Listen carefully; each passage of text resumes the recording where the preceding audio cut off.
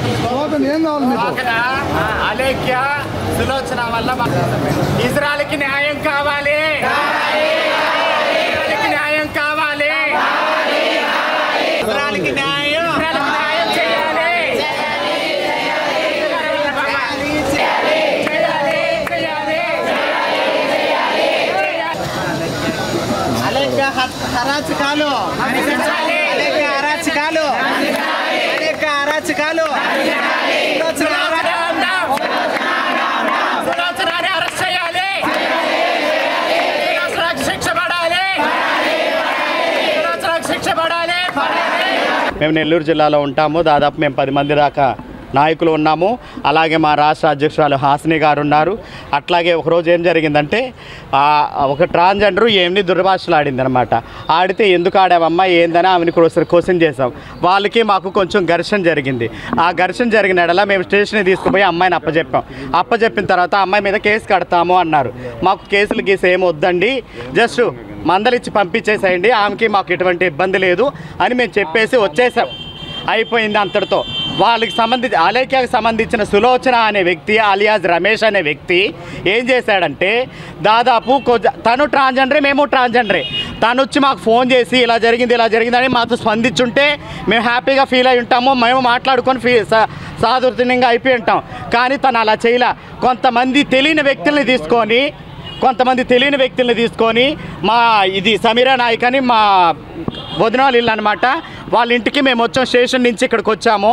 వచ్చినప్పుడు ఏం చేశారంటే దాదాపు ఒక అరవై డెబ్బై మందిని తీసుకొని ఎవరో తెలియని వ్యక్తులు మాకు తెలియదు వాళ్ళని తీసుకొని వచ్చి ఇంటి మీద వచ్చి దౌర్జన్యం చేసి మా ట్రాన్స్జెండర్ మెడలో మా హాసిని గారి మెడలో దాదాపు వంద గ్రాముల చైను అట్లాగే తెంపుకొని వెళ్ళిపోవడం మమ్మల్ని కొట్టడం మమ్మల్ని ఇబ్బంది పెట్టడం అడిగితే చంపేస్తానని బెదిరించడం సులోచన మమ్మల్ని చిత్రహింసలు పెట్టడం అలా మమ్మల్ని బెదిరించింది.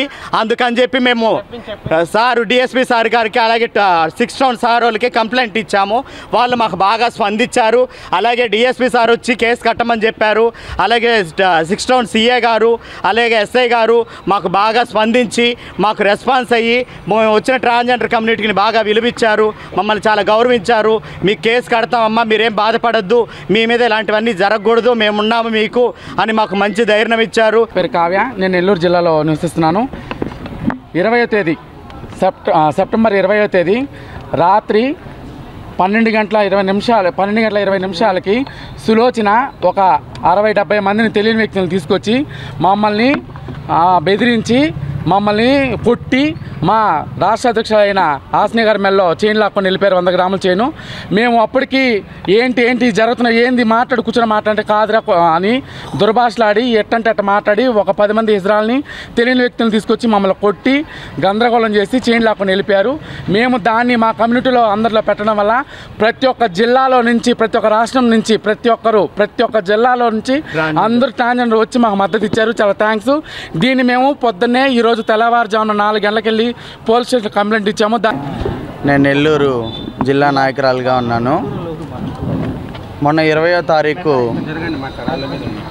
సులోచన ఒక పది మంది హిజ్రాలతో కలిసి వచ్చి బాలాజీ నగర్లో మా సాటి హిజ్రా నివసిస్తుంది. అదేవిధంగా మా పెద్దామని దుర్భాషలు ఆడిన దానికి మేము వెళ్ళి ఇక్కడే రామ్నగర్లో ఉంటుంది ఒక అమ్మాయి హిజ్రా.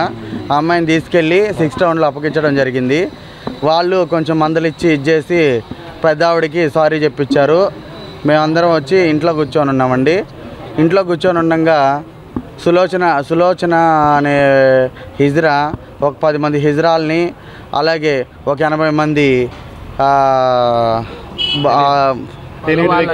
తెలియని వ్యక్తుల్ని. మగవాళ్ళని తీసుకొచ్చి ఇక్కడ గొడవ చేయడం జరిగింది. అందరికీ దెబ్బలు తగిలే అందరికీ ఇదైంది